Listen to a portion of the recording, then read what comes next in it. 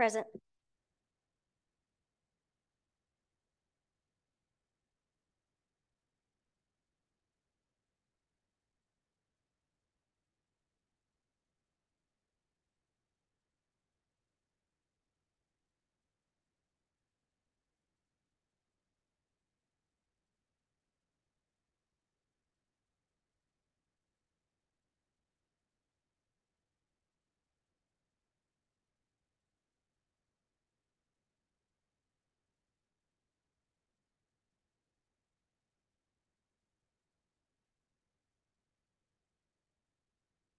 I'd like to make a motion to approve. I'll second motion.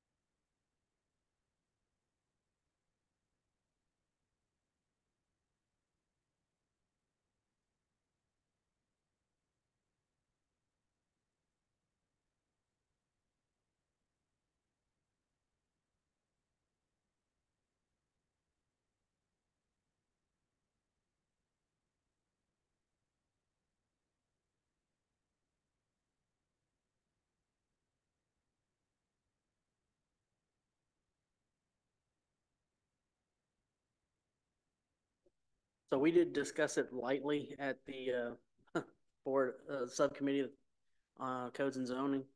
Uh, that ended up being a really late meeting because we we've covered a lot of what Mr. Gregory has been doing. Um, so we were able to just touch on it. Uh, the discussion there kind of centered around possibly splitting this up into a um, kind of a 60 20 20 split with the schools, fire department, and EMS. Um, we can't contribute any money to the water department, which really this impacts the water department. But like you were just saying, it does make a little more sense just to leave it in the general because it's not only fire, EMS, but also the sheriff's department that and public works that all kind of get affected by this at different times of the budget. Um, so I'm, that might be something that we we leave alone for the, those reasons.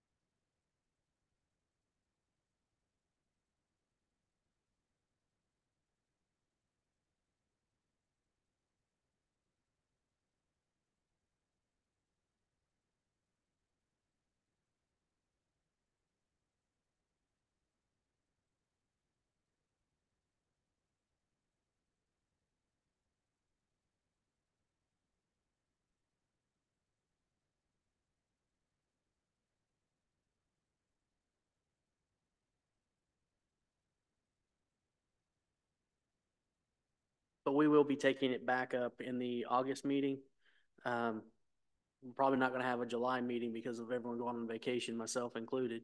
Uh, I can't seem to find a date where I'll have a quorum. Yeah, the subcommittee. So we're gonna. I haven't heard anything from them. They asked for my committee to take it up at the last commission meeting. Um, I don't know exactly why, but yeah. Yeah, it's a fee.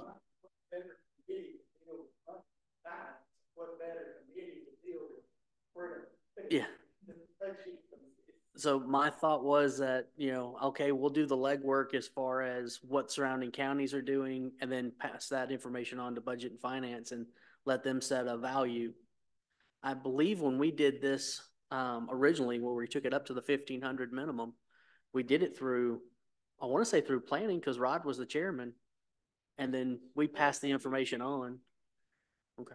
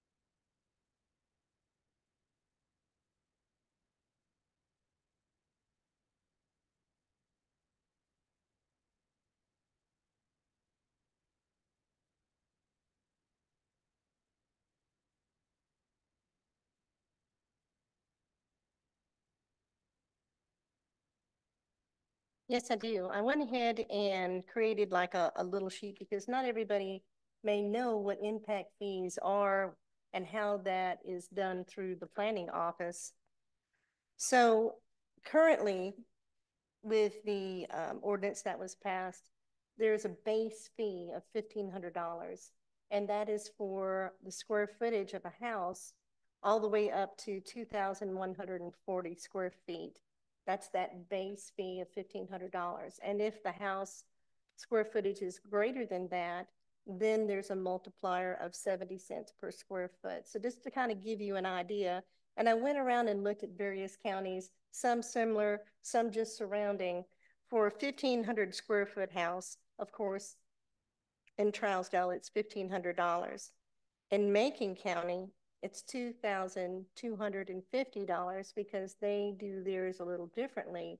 How they do their impact fee is a hundred, a dollar fifty per square foot straight. Wilson County is a flat five thousand dollars. Cannon County is like seventy cents a square foot. And then Robertson County is similar to Macon County. They charge a dollar fifty a square foot. So that's where we rank according to square footage on a fifteen hundred square foot house. Now, if you go down to, and I just did it like five feet over what our base for the the next bump up, the two thousand one hundred and forty. So for a two thousand one hundred and forty-five foot square house, it would be Charleston County, we would only charge one thousand five hundred and two dollars. Okay, Macon County would charge three thousand two hundred and eighteen dollars. Wilson County again has the flat, flat five thousand, um, impact fee. And then Cannon County is one thousand nine hundred and twenty-six, and Robertson County is three thousand two hundred and eighteen. So that's, this is how we rank with some surrounding counties and counties that are pretty similar to what we have here. You know, I, I truly believe that the, our not, no competition.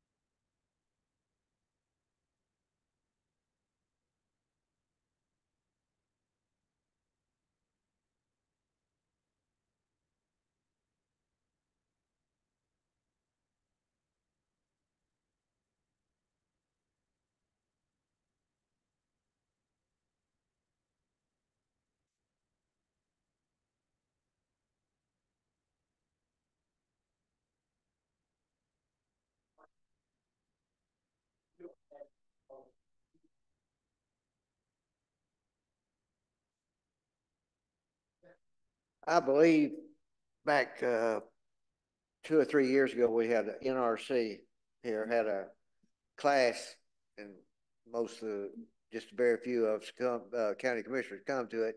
But I believe they told us back then that over a million dollars was going out of this county every month. That, that they were, that other counties to be spent. They live here, but they buying all their, they're buying everything out of this county. Oh, it's over a million dollars was going in. Yeah.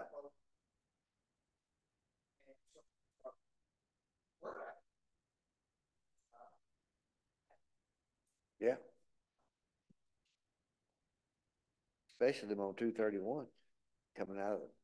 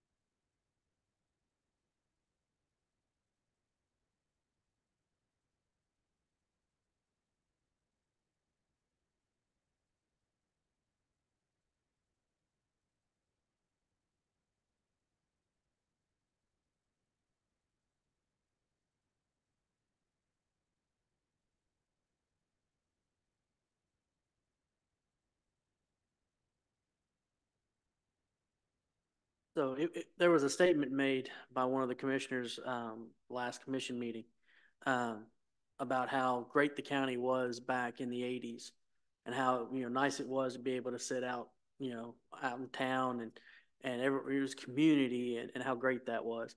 Um, the problem with that is, is this is two thousand twenty-three and it's not the eighties. It's not the nineties. Um, and the growth is coming as we were told back in the nineties that, you know, there was going to be an ex- an explosion of Nashville. It was going to be the next Atlanta. And it's exactly that.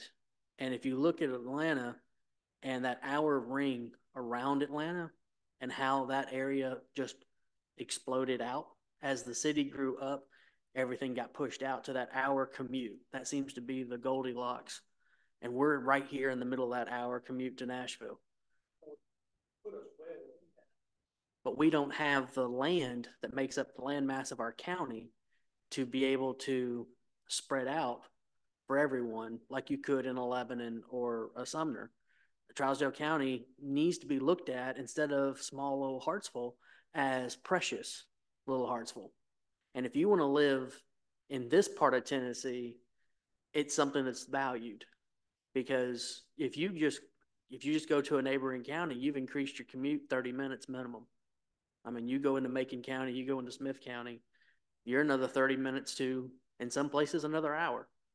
But in Hartsville, you're still in that little hour, and we're still a nice little community with a decent mixture of agricultural and residential and some business. I would like to see as a county that we try to maintain that as best as we can. I know there's been opportunities for larger businesses to come in that were pushed out in years past to keep us the small town. Um, I don't know if that was the wisest decisions based on our tax needs now, but for our local businesses, it protected them.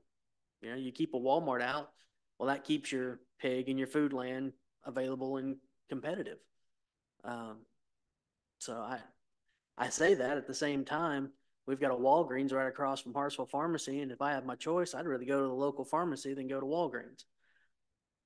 To me, it's just better service, but um, that that's the problem I see is there seems to be this idea of well, let's just go back to the way it was, and the horse is already out of the barn. You've got to plan for what's coming next, not what we used to have.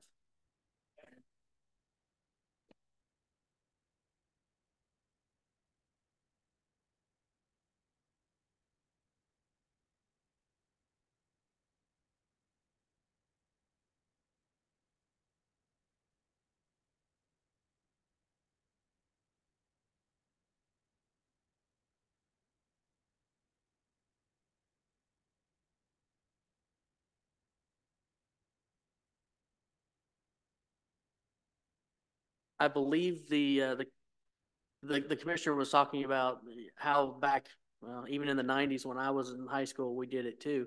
Just parking around town and, and, and yeah, on, on the, yeah. Well,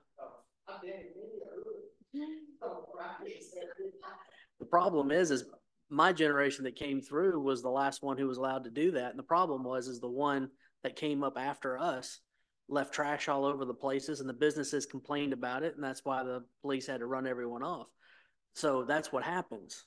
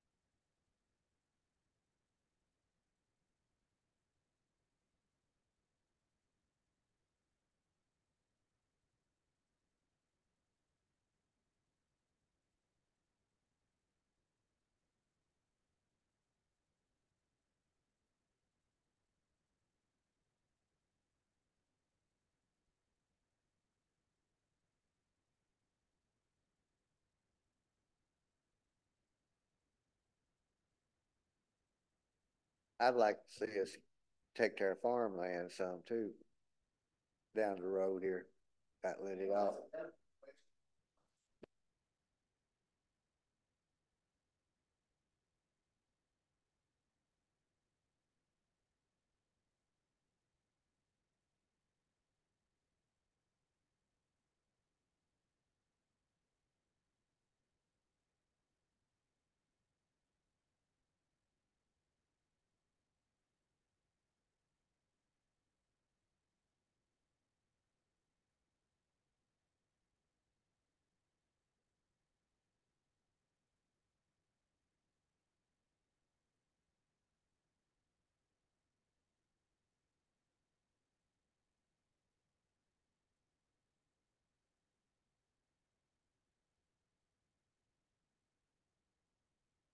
Well, and that's, that's the thing that I keep looking at. What right does the county commission or the planning commission have to tell a property owner, uh, you know, a farmer who doesn't have any heirs who's gonna take up farming, that he can't sell that property for a huge profit if somebody wants to come in and give him ten, fifteen thousand an acre? Um, that should be his right.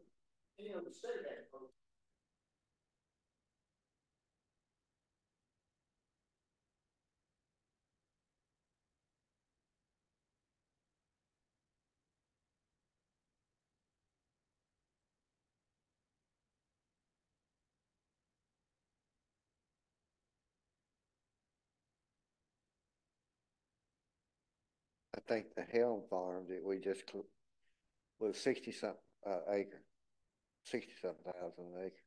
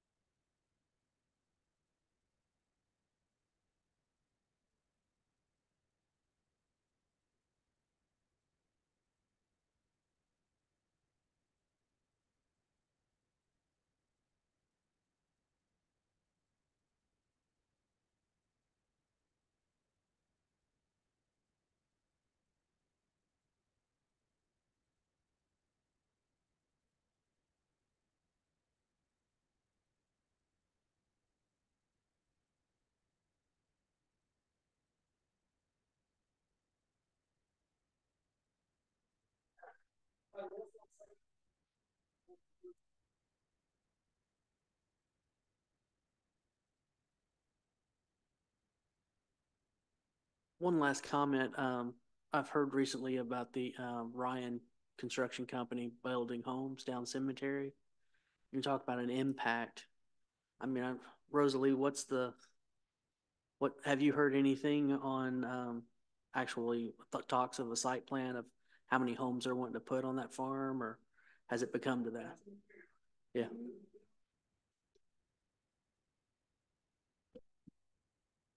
Um, several different, uh, large developers have contacted the office and want to talk.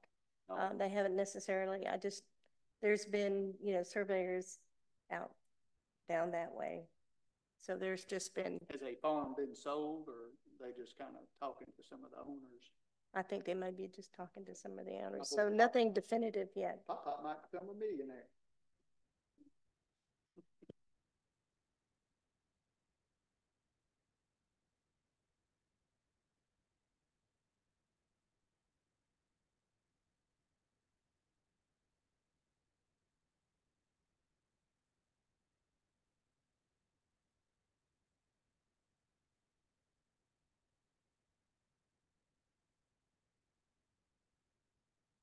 There's also been other calls to the office with um, retail development as well, asking for various statistics and, uh, you know, attractive uh, facts about our county for uh, retail development.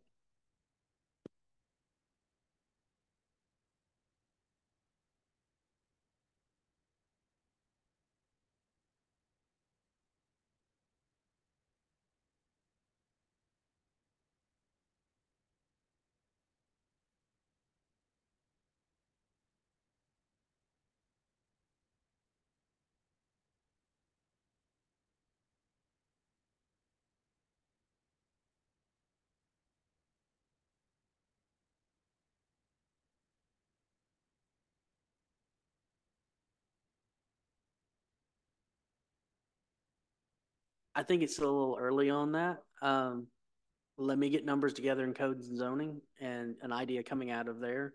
I can bring that to this body and then you can kind of give your stamp of approval or adjustments or just something to give to budget and finance and. Yeah. Well, I mean, there's, there's only five on my committee, so anytime I can get extra input on what we're doing, it just gives a broader, you know, look at it. Um, and then we can take that to budget and finance and say, here, here's what we've come up with. You know, y'all, here's the information, y'all do with it as you please. But as we're still looking to be able to afford a jail, um, we're looking at down the road, possibly having to build a new school, um, or expand a school. That's what keeps getting kicked around. The, I don't know.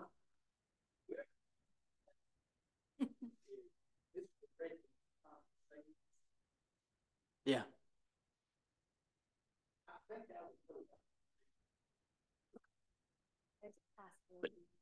But wheel tax keeps wanting to be um, tied to new school pro- capital projects and um, when the discussions of the wheel tax are come up now, this has had the same attachment to it.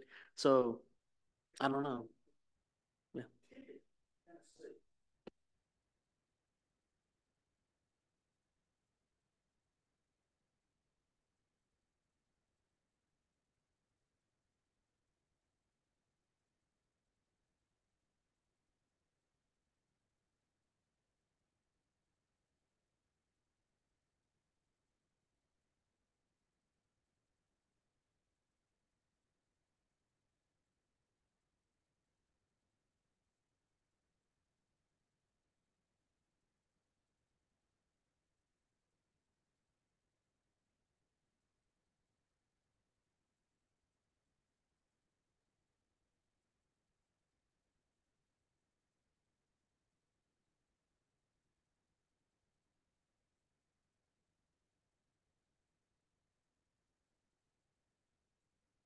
That, that gentleman, the other night that was from the sheriff's department, that was here. He, uh, lives in a small county in East Tennessee. And some, Judy Kerr asked him what, what was the best way to pay for a jail. He said, I have six vehicles and I pay hundred and fifteen dollars a vehicle. So, that's what he, that's all he said.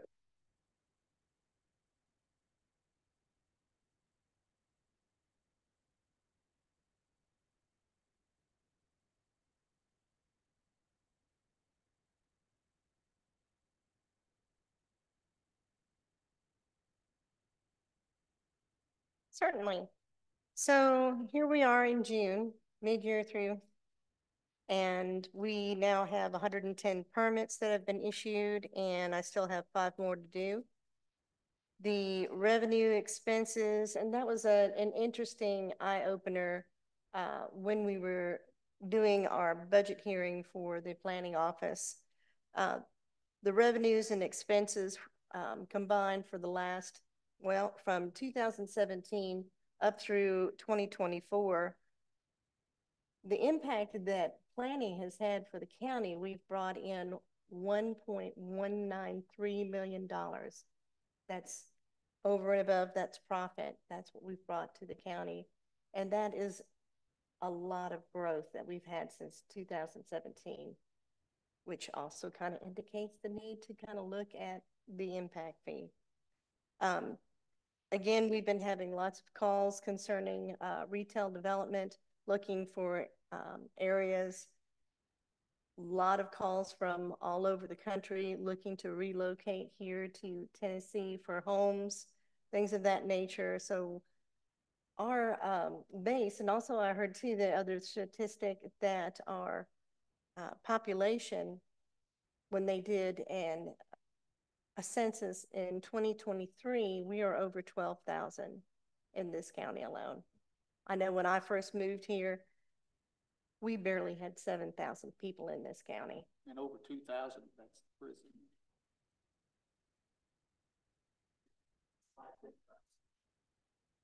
And that's good for us. I mean, We qualify for more grants and everything with a larger population.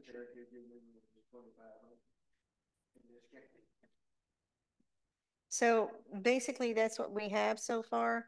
Um, we are looking and looking very much forward to having another person in the office to help mitigate, you know, all these different types of calls, the permit questions.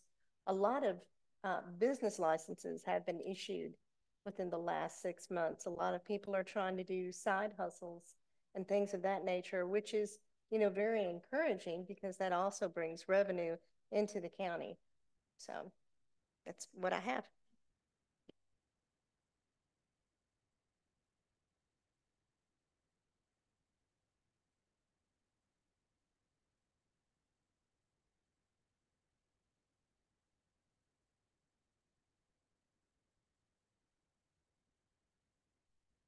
The, some of that. I just wonder if we're getting compensated. the Airbnbs do have to pay the hotel tax, so they should be getting a business license. They do a lot through the state. And so I know that the uh, county clerk's office does receive um, monthly checks for this tax, but it's not necessarily associated. They don't, they don't give the information as to, okay, you have the tax from this property here and this property here and this property here and this property here. So I don't know if we have all of our Airbnbs truly represented.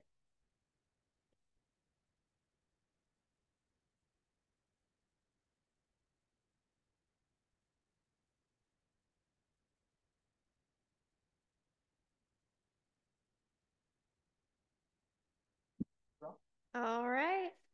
Um, so Candy Henry went through some of the Tennessee Open Meetings Act. I have included some of those slides just for reference as a reminder because I know it's been a little bit of time. So tonight we're going to cover a little bit uh, briefly on the open meeting law and public hearings, and then we'll get into conflicts of interest and hopefully get through due process and get us out in 30 minutes.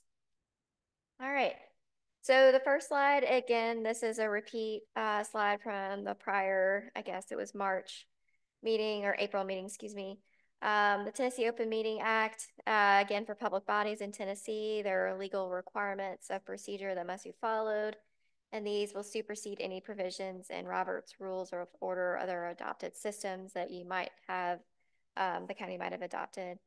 Um, the Open Meetings Act, TCA 8-44-101, is the basis of these legal requirements for meeting procedures. Um, and the purpose is really to implement the policy of the state that the formation of public policy and decisions is biz public business and shall not be conducted in secret. Um, this is also, as you probably have heard it, the Sunshine Law. Um, and the act covers uh, matters like notice requirements, the contents of minutes, uh, public voting requirements, allowing public participation, the definition of a public meeting, and the restrictions on electronic communications of members. Um, Who passed these? the state. And do they follow these? no comment. Um, so defining a meeting uh, as the the Open Meetings Act.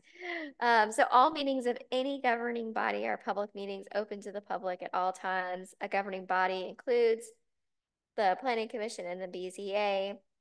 It's a, any member of a public body consisting of two or more members with the authority to make decisions for recommendations to a public body on policy or administration.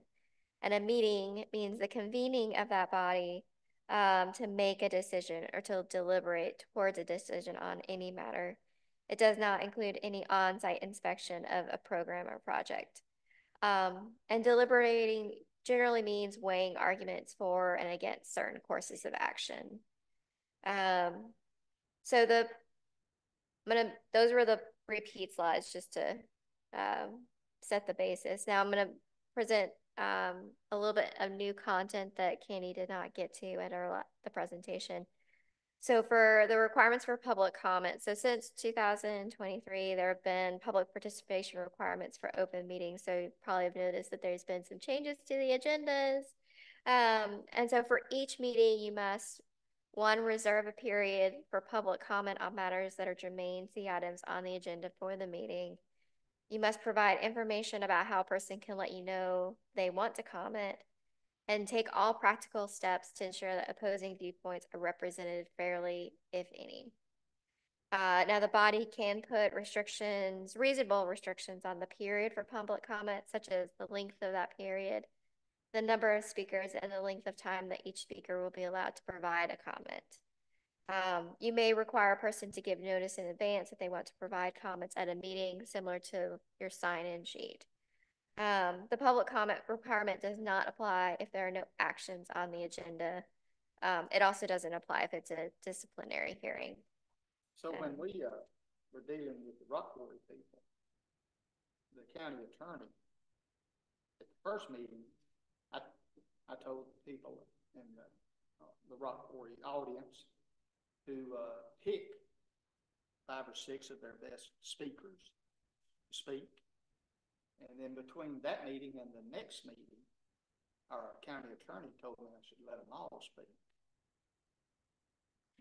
I think the best meth- mechanism or process is to set the and hold a standard throughout and not vary I was based. going to.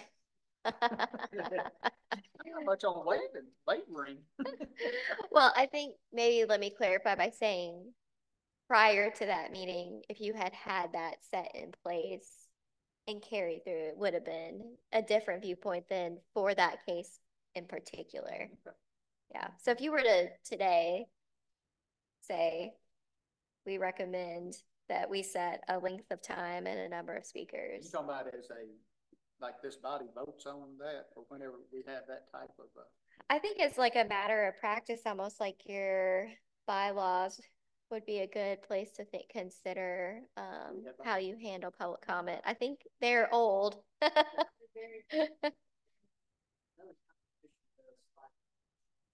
I went by the same time limit that the county commission did. If y'all remember, I gave them five minutes. But, uh, because I had asked, what does the county commission do? That's what I was told, so I stayed there. Mhm. I was just gonna, like I said, I wanted them to have their best speakers, you know, and stuff. And I even told them to go out in the hall, if you remember, and, you know, vote for who, you know, y'all pick who y'all wanna speak. I'm not gonna pick them. But pick someone who's gonna do a really good job for you.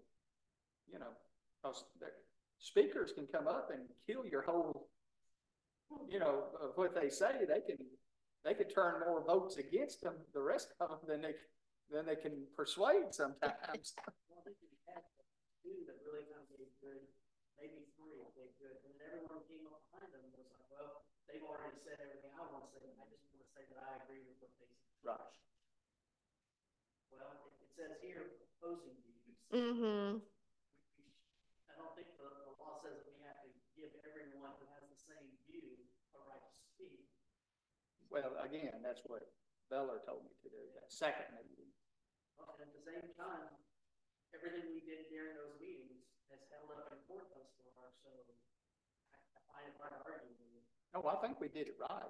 I think if we'd done it the other way, we would have done it right, but the only thing that they were trying to say was because I was giving them five minutes, they wanted me to limit the petitioner to five minutes. Yeah. And of course, they have the right to take as much time as they want. They're presenting their case for why they want this development.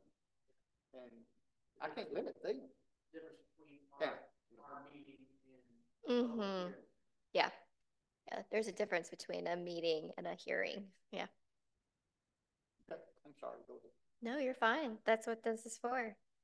Uh, so other requirements to think about with the Open Meetings Act. Um, don't forget to consider how the space is accessible to the public. While there are no specific law, the courts look at the circumstances to make sure the public had fair access. Um, a room that would only hold staff is probably too small. Um, so you should try to meet in a room that will accommodate the reasonably expected numbers of the public and access to the media. And then if needed, take any re- reasonable steps to enable any overflow crowd to hear the meeting. Um, I was recently in a community where they had three hundred plus people in a room that only was legally allowed to have hundred and fifty PD people in the rooms. They had to postpone the meeting for that. Um, so what happens when the Open Meetings Act is violated? Um, so if a meeting is held in violation of the act, any action taken is void and of no effect, um, except for commitments affecting public debt, Who which determines that the, that meeting was in violation? the court, Okay. yeah. So somebody would have to bring an action against the, the, whatever was meeting yes, and and prove it in court. prove it in court, yep. Okay. Um, this includes any violations such as failing to record minutes. Um, so you would have to redo the whole action, including providing new notice and public comment. Um, even if there is a redo, the court can issue a permanent injunction against any person who violated the act. And after any violation, the court keeps that jurisdiction for a year and require follow-up reports. So really what this boils down to is don't violate the act so that the court doesn't, Don't get the court yeah, involved. don't get the court involved. Um, so once the court is involved, violators are also subject to contempt of court and the governing body may be subject to pay any reasonable court awarded attorney's fees incurred against it. All right, so public hearings, so this is where it gets, uh, the difference between public comment and public hearing. So all meetings must be public meetings with the opportunity for public comment on the agenda items, but public hearings are specifically required in certain circumstances. So for instance, the state law requires a public hearing before the planning commission adopts or amends the subdivision regulations. The commission must hold a public hearing on the development of a comprehensive plan to provide an opportunity to participate in the plan's formation on the front end.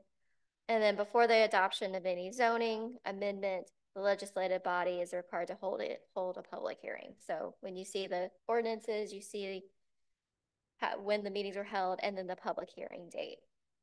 So again, make sure these hearings are properly noticed and open to close as part of the business of the meeting, even if no one shows up, which y'all don't often have to do, but if you were to hold a public hearing, if you were to adopt or amend the subdivision regulations, or if, I know one of the items on y'all's to-do list or wish list is update the, your comprehensive plan. Um, yes, The section there before adopting documents. Audio part, that's not referring to, that's only referring to the commission. Yeah, the, only the county commissioners can adopt and amend the zoning ordinance. Y'all, this body makes recommendations for that, yep. All right, so public participation, for all matters of public participation, the immediate goal is to comply with the law. Uh, but the overarching goal is, of course, is to ensure that the public, public is adequately informed and can participate in the process in a meaningful way. Um, another item to be aware of is that some grant funds were, that are available to local governments require public participation. So always be aware of if you're applying for and receive state or federal grants, it often is going to have an element of public participation required that you must comply with. If your community is informed of what is going around, on around them, they are more likely to work with you to achieve the goals and objectives of the planning commission and the county um, than against. And as you think about matters that require public participation or matters you just want the public to be more involved in, consider the mechanisms to keep the public informed. So um, surveys, articles, radio and television, social media, uh, program presentations, uh, making yourselves as planning commissioners available to the public meeting like rotaries and chambers to inform them of what's going on and all the development and how your role is in, in that element of the county's growth. So, uh, so thinking about moving right into presentations of planning programs. So aside from the official setting of the public hearing, uh, community presentations are often a valuable tool for sharing information with the public. Um, so I know one of the things that this body worked through like a year ago was the materials. um, so thinking through were there ways to handle that or maybe make it differently when it got to the county commission. Um, but planning commissioners and their and staff should be available to civic groups, schools, and other organizations for speaking engagements to express the goals and work of the commission. Um, this helps build that consensus and support um, for the work that you all do and for what the county does. Um, so that when it, if and when it goes to the, up to the legislative body, the elected body, there's that support that's already there and knowledge of it. Um, these presenta- presentations can lead to informed, interested groups that can prove to be an asset in times of important decision making on future community developments. Um, and then just being available and transparent is always a plus for the community. So any other questions on the Open Meetings Act? All right. Conflicts of interest. All right, so a public official has a fiduciary duty to act solely in the interests of the public. Um, a conflict of interest arises if the public official can receive a personal advantage by taking an action in their role as a public official. So there's a law that applies if you have authority to vote on work contracts the public body is involved with. There's the TCA state statute there. There's also a specific disclosure law that applies to members of a planning commission and they must file statements with the state ethics commission. Y'all do that every year along with your training. Um, and that's Tennessee Code annotated 8-50-501. And then every public official has the duty to avoid a conflict of interest um, because most public official positions in Tennessee are part-time. It's understood that there may be times when you are asked to vote on a matter which you or your family member or close friend might have a private interest. Um, and so it's really important to always consider not just what is legal required when you speak of a conflict, but also the perception of conflicts and being aware of that from the community. Um, and local governments governments may have specific conflict requirements as well. So if I don't believe Trousdale has additional specific conflicts of interest that it requires. That's above and beyond um, the state. We got conflicts. but conflicts of interest. All right. So procedure for conflicts of interest. So the first step, I think, like thinking through this as a process is consider what type of interest you have. Is it a direct interest? You is it a business you have control over? You could benefit from it. Or is it a indirect interest? So a close relative or friend could benefit, or a business that you may have an interest in but do not control that benefit or that that how that impacts. Um, so that's step one, determining if you have a direct interest or an indirect interest. And then the second step is determining whether you are disqualified from voting. So if it's a direct interest, you're always going to be disqualified from voting. Um, and you should recuse yourself from that item on the agenda.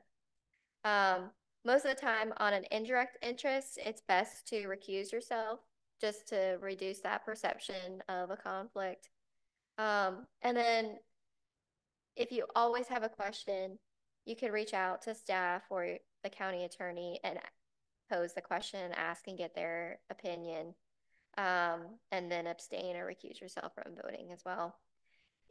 If you do have a conflict, you should not participate in any of the discussion or the voting. Um, so just want to be clear. Um, so before any discussion of the matter or of that agenda item, you should announce that you have a conflict and whether you will be voting. So again, if it's a direct conflict, you should abstain and recuse yourself from that item. If it's um, an indirect, you that's where the gray area is. My advice is always just there's really no benefit unless for some odd reason there's not a quorum present and it's not it's very minor. Um, then you could state the conflict and say that you're voting or if there is enough of a quorum, you can recuse yourself. Um, if you're abstaining, make sure it's clear in the minutes. So this is a good thing for the secretary to always make note of, of who is been, um, who is going to abstain from the vote.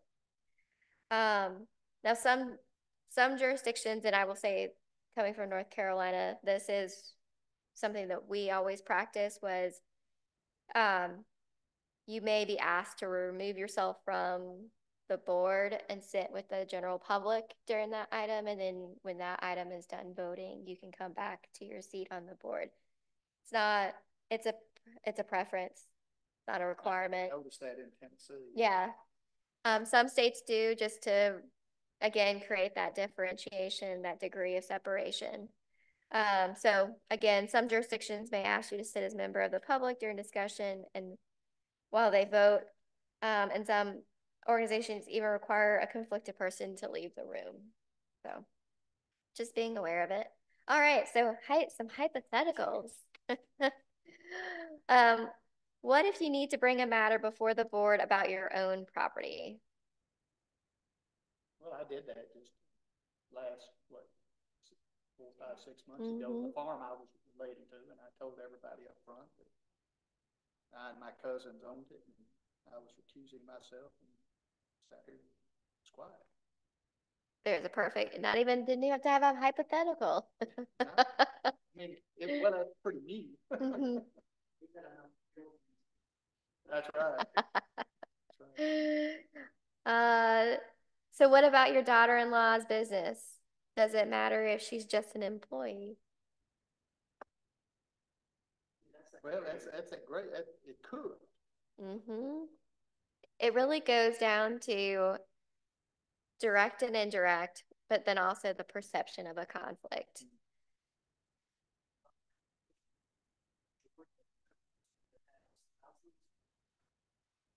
Mm-hmm. And so technically, everything we vote on in spending, all of us have indirect conflict of interest. The way the county attorney has, has approached it as well, you're elected members and the decisions have to be made. So as long as it's not a direct, that's about the whole line. There's a little statement, if it's a direct. I was about to ask, do y'all still have to read that? Yeah, if it's a direct conflict or we feel it's enough of an indirect, might. We, we, the whole phrase about her coding her conscience, no matter what our personal, um, benefits to the vote, Mm-hmm. something along that. They made us, at that time, when I was on the county commission, I was a school teacher, principal. And I had to read that statement because obviously the budget they were passing affected my salary. Mm-hmm. that type of thing. I still find. Very, very little of my salary. that a real school- a real school Principal is actually the chairman of budget and finance, Right. but that's not a conflict of interest. I mean, they just, they have to read that statement. Yeah. Yeah. I mean, it, it happens in very small communities that everybody knows everybody or is related to somebody that has land. So it does, it, it is not unheard of and it actually is very common. So I think it's, again, I like, think the statement that, uh, the county attorney came up with at the time, it still continues as a good practice. Um, all right. So what about something that might happen in the future? So what if a rezoning that would make your, a, pro- a property, your property more attractive to developers? How do you work with a mic? It's not just me voting on that, you know, it's nineteen other members.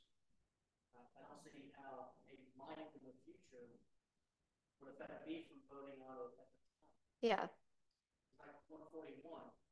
Like one forty-one, yeah, we've known that road has improved since the late Thirty years. Yeah. So anyone who was buying property in good rezonings, if you were part of the county commission or the planning commission, you were gonna eventually at some point maybe benefit from that. Mm-hmm. But the state could have pulled funding from that project at any time and, Or never done. or never done it at all. Yeah. That's like David. David's been on the county commission for years. That road goes right through two pieces of his property. I mean, and like I said, it's been, a direct example. it's been like Yeah. 30 years. What, you know, what's he supposed to do? Just, you know, I think, so in that instance, in that very specific one is if the county were to say, we recognize the road, we're going to rezone all the land around it to Well, the good thing is they didn't rezone anything. Well, They that's just what- Stole his property and gave him what they thought it was worth. Well, that's T-Dot. That's all. that- that's the state TDOT. Stole his property and paid him what, what they thought it was worth. Nothing's been, re- been rezoned around that road yet. Yeah, so if, if the county had said, we're going to rezone all the land around that, cause we wanna make sure we play, like, set the standard for what, the type of development we want, we want around the new facility, that would be the point where David would have to recuse himself, cause it creates a financial interest. Yes. All right. Any questions about conflicts of interest? All right, due process. So due process generally means that the powers of government such as planning commission decisions must be exercised with adequate safeguards to protect the rights of individuals. Um, and then without that property process process, the actions of the planning commission or other bodies of governance can be voided. So um, it goes back to y'all's discussion on the rock quarry and standing up in court, and this is one of the reasons why. Um, is the due process includes things that we've already discussed, like the rights of the members of the public to have notice on an issue that affects them, the opportunity to be heard. Um, it includes the right of a member of the public to have its officials fulfill their duties without conflicts of interest or other impropriety. And it often includes the right to appeal. Um, so the appeal of a public body's decisions and access to the court system for further relief. Um, so when due process is followed, the decisions of public bodies are given a much greater, uh, like opinions by the, by the court. So they defer to and look at your minutes, the records, um, what, how you made your decisions. I guess we'll find that out. Yeah. Hills Court rules. That's something very interesting is I watched the video of the full, uh, session from the appeals court and how they were. It was funny because they were, I found it interesting that the judges were actually looking at the way we structured, it, the way everything was handled from the county's perspective. Mm-hmm. And then we're actually giving us grace and putting the, the burden on the, on the quarry attorney to, are you sure that's what they need? Mm, based mhm. on everything that's laid out here, do you really think that they wanted, because they didn't, you know, we didn't have a specific place for it? that Mhm. We could just put it anywhere? Yeah. It was really kind of pushing back on them. That doesn't, you know, it was one of those, when you see that they had this and they didn't do this, but do you really think that that was their intent? You, the, there was two of them, were really hammering, you really believe that was their intent? Mm-hmm. And so, We'll find that out if, if they ever rule. it by July, we should. Oh, is that right? Yeah. Yeah. So typically when a- there's an appeal, they're really looking at the records of the government body. What were, what, what was the actions that were followed? What was the noticing? What were the minutes? Um, and documenting that was, was due process followed? Um, and so That's why it's so important. That's why the minutes are so Mhm. important. the minutes are very important. Well, you do a great job. And you did a great job and, uh, I don't remember who it was during the, and Mary Ann did a great job. So, um, again, y'all, y'all are doing it. Um, and y'all don't actually have annexation, so you don't have to worry about that. There's a new twenty-one day notice for annexations. It used to be fifteen days that they just, they just changed this year. So you don't have to worry about that now.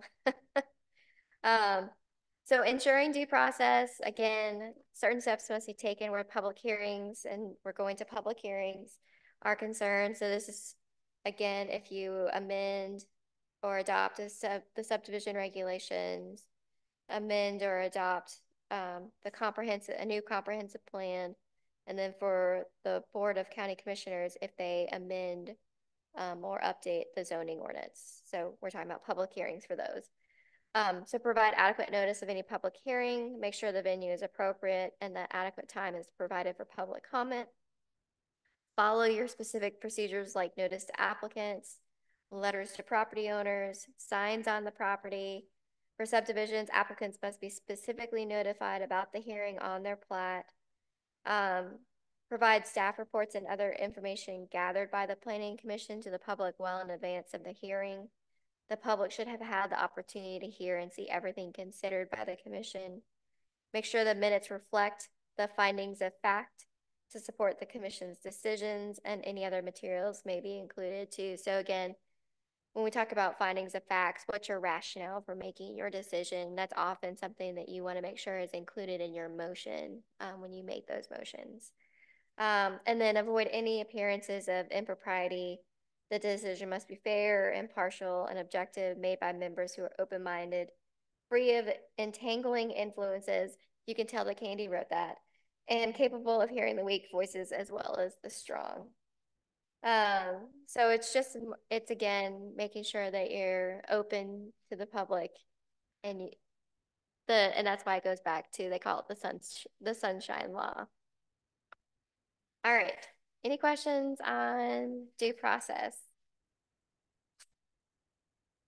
All right, this is such a, I love this word, ex parte. Ex parte communications. Does, so ex parte means one side only. Um, so it's typically like, I like to think of it as the parking lot conversations that happen or the, I saw you in the grocery store and we just happened to start chit chatting and then we delved into that thing that we're going to be in that meeting with each other that I really want to get your opinion on. Those are ex parte communications. So uh, its contact is considered as ex parte if only one side of an issue is involved and all parties are not properly notified of that contact. Um, ex parte situations could arise, could raise an appearance of impropriety. And if you find yourself confronted by a possible situation, you should one, refuse to be obligated to a particular side of any issue prior to a formal meeting of the commission. Insist that any and all information offered to an individual planning commissioner be presented on the full commission. So if you were to receive an email from your neighbor Joe, he's like, hey, I saw like this thing uh, that's affecting me. I want to just share my thoughts with you, share it with, I put it into the record of the meeting.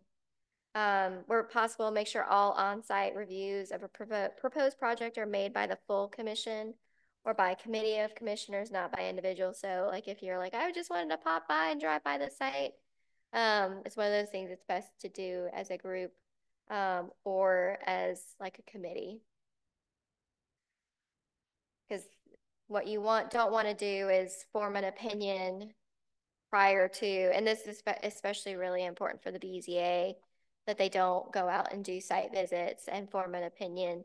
They are required to hear the findings and the facts in the meeting because they sit as a quasi judicial board. Um, all right.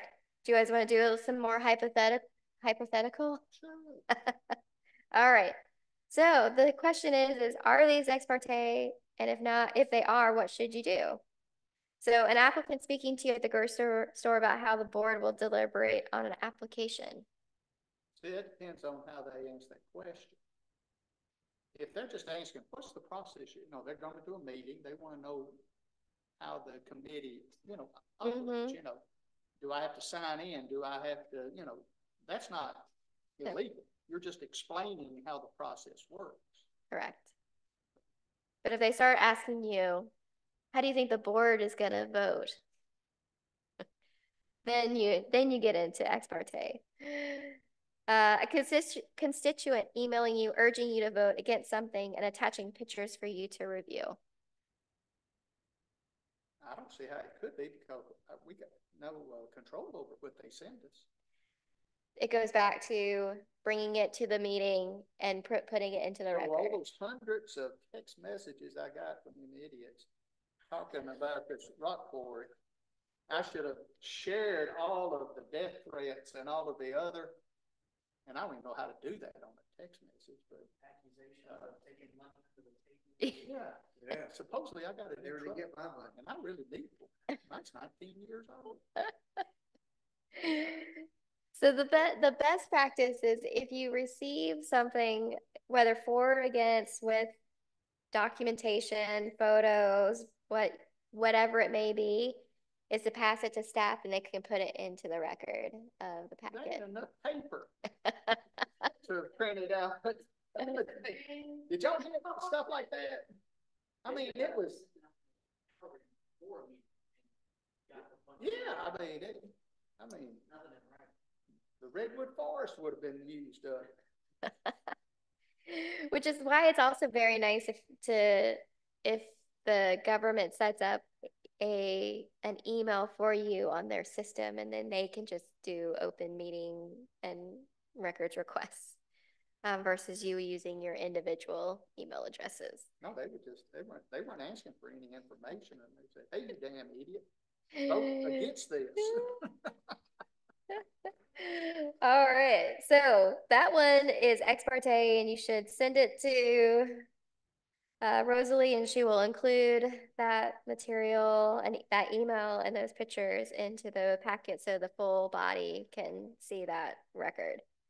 Um, all right, so a neighbor you don't know canvassing your street urging people to sign a petition to be delivered to the body you serve on.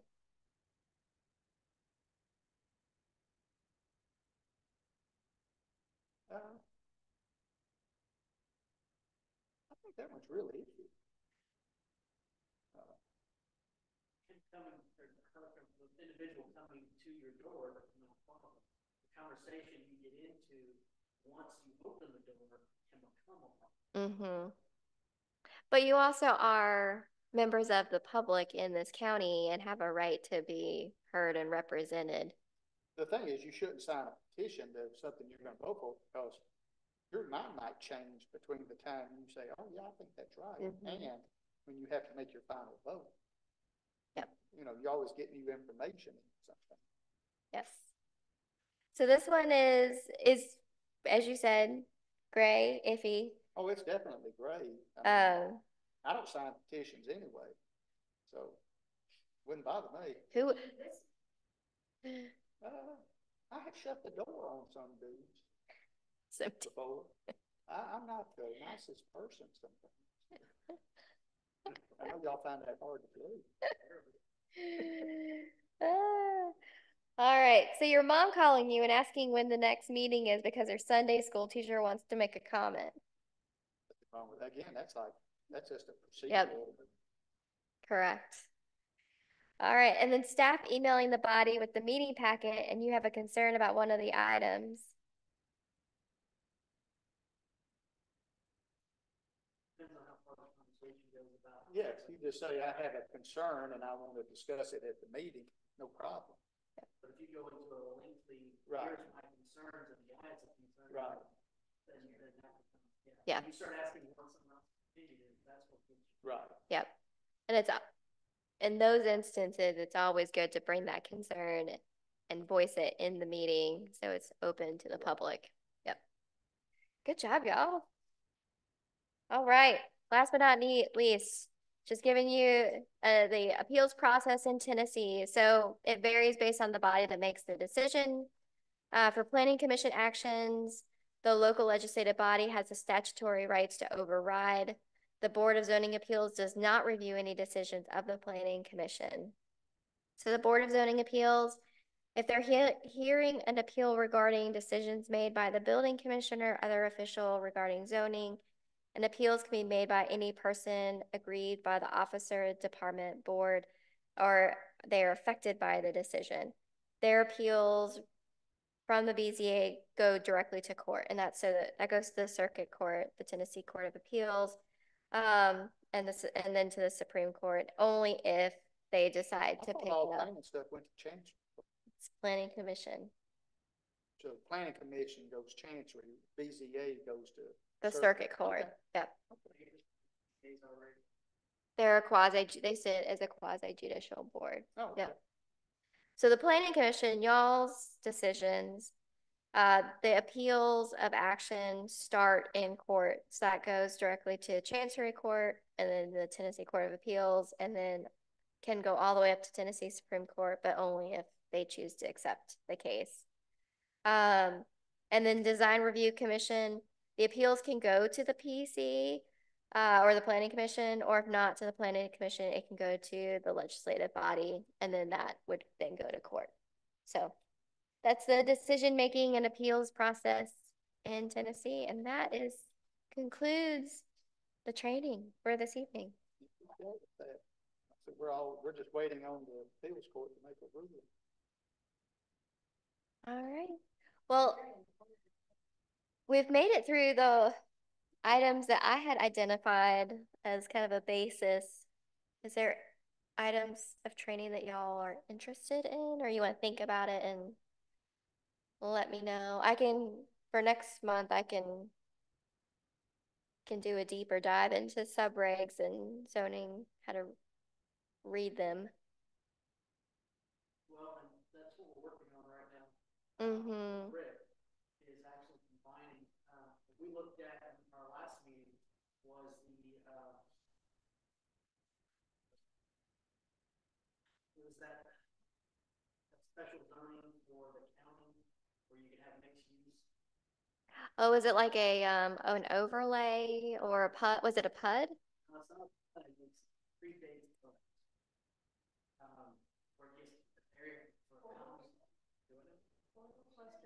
I think it yeah, I was gonna say, I was about to say cluster development. So because of the way that's, that's set up, um, Rick was telling us that the state kind of put that in back years ago, and most places have taken it out, Mhm. removed it because it just complicates things. And so we're looking at, as we're doing the, the new combination of actually moving that out, um, for those reasons that he stated. Um, Cause he was talking about a piece of property on South Park in London is running with that, where it's twenty-five acres is the non-developed property. Mm-hmm. And now all this time later, the, the actual original developer is going to go back and develop that twenty-five acres, and he can't because it's locked into Yeah. cluster in Trousdale the way it's said, that those can only go in R ones, correct, Rosalie? In the county.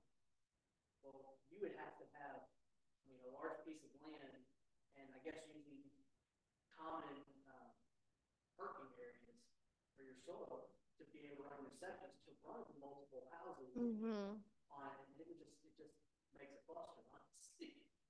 Um, so we, we were looking actually removing that, um, from the, the zoning. Mm-hmm. And then there's been some other things he's run into where it doesn't fit in the zoning. Yeah. And It has no place in zoning reg, it should, it just, should be a standalone ordinance and not, that kind of stuff should in there. Mhm. So Okay. we're cleaning some of that up. So when we get that done, I do want to bring all that through here, um, in chunks. Because the way he's doing it is, he actually, where he's combined the the Hartsville side, we just through the definitions and we're just starting to get to the zoning, actual zones. Um, every, every change he's made, he has it either highlighted and then drawn through, or he's highlighted and because of the color, it'll tell you which, where it came from, whether it was the Hartsville or whether it was the, uh, And you think the county commission's gonna pass that? I have no idea. Uh, he's gonna be presenting it. I, I'm, every meeting, I have been very adamant, we are not trying to change anything, we're just trying to combine it in the most effective way. Mm-hmm. An outside source that everyone that, that I know of has high regard for, um, anyone who knows him on the commission has high regard for him. So, I'm hoping, that being said, that we might be able to get something voted on in January, February of next year. Uh, Okay. So maybe hold off on the zoning and we can do subregs. Um, actually, I mean, it, I, me, it's working through some of this. um, Oh, to do zoning ordinance and training? to try- so- Kind of getting the as we're doing this with, with Rick, just asking questions as he brings up what he wants to do. The intent of some of this stuff that we're looking at is kind of a big, the big thing to, well, why was it put in there in the first Mm, okay. some of the stuff was just to manipulate what could come, couldn't come in at the time. And then when that time passed, then it got removed and chunks got left in, so And it- clean all that too. And it's often a copy of a copy of a copy. We've Run into that too, where the language just didn't. Or it references a section that doesn't exist.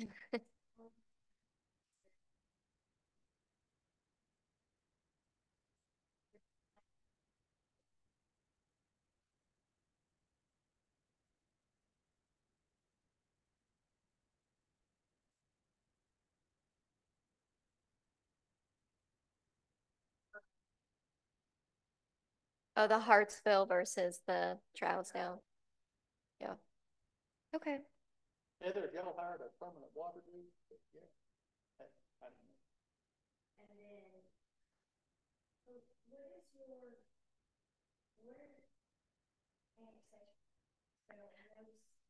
So you all, you are a met, Trousdale is a metro. You don't annex anymore like you are. You what? We just annexed property of, They wanna come into the urban service area. Oh, into the urban service areas, but not to the, like, not to this municipality. Right. I got you.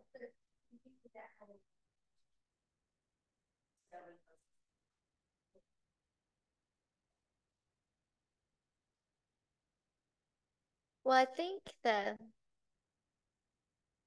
I, I need to look into it. I mean, when you say annexation, I immediately jump to being annexed into a city boundary, not into a, a service district. And so,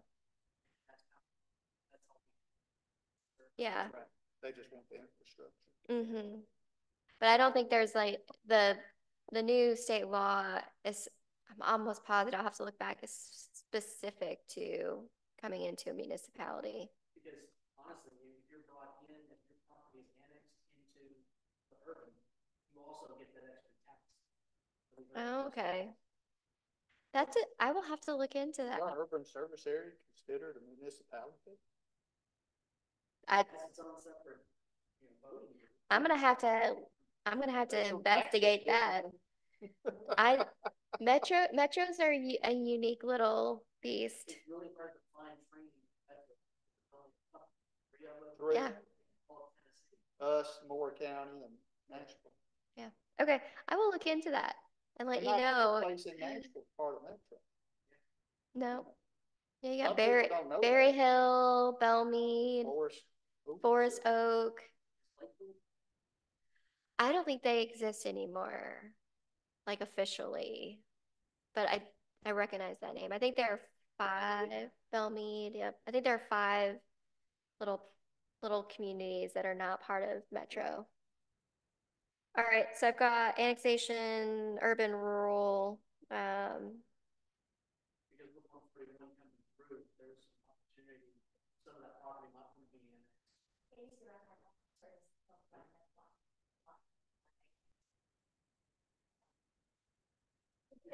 Yeah. Do you live near where the road's gonna be? Yeah. Oh, right there. She's closer than I am. Well, maybe by the road, but. And that's another thing Where you- for the county commissioners in this body to think through is rezoning that property.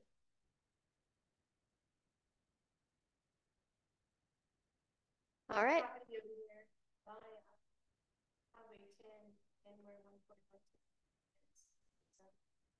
Mm-hmm. Yep. The guy who bought all that.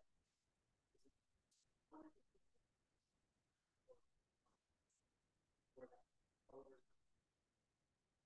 That, where that old store was? No, not the store, but the farm that run behind the store house. Uh, the Farm that runs there, Hayden, uh, you know who owns it? I have to look it back up. It's a property. Oh, that's fine. But he's, his name's listed on three properties. I know his, his family owned land out there on that, as you're going up ten on the right. But this is, uh, that, that whole, it's usually just used for hay, but on the, the north side of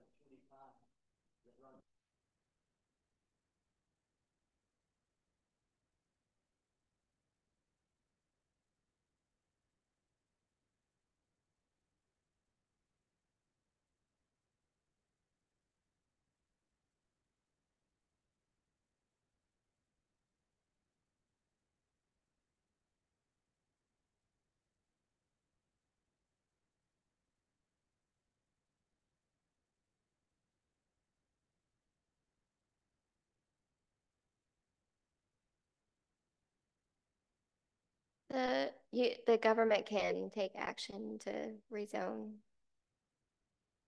I wouldn't strongly recommend it, but you can. Yeah.